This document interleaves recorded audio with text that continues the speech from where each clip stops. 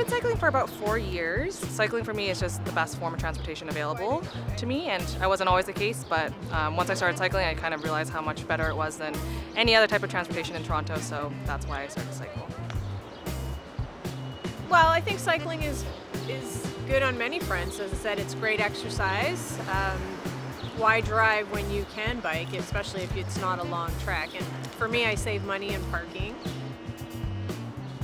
I've been cycling for as long as I can remember. I learned to ride when I was a young child and I've been riding ever since. I cycle because it's fast, it's free, and it's fun.